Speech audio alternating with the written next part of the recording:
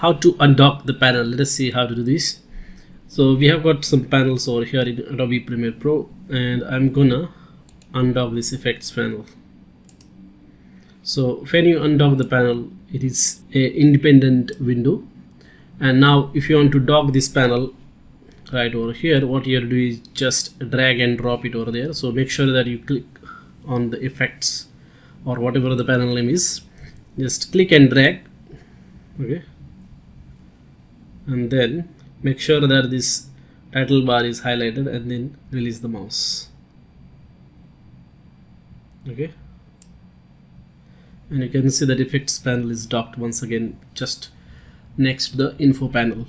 That's it. That's how you can dock or undock the panels in Adobe Premiere Pro. Thank you for watching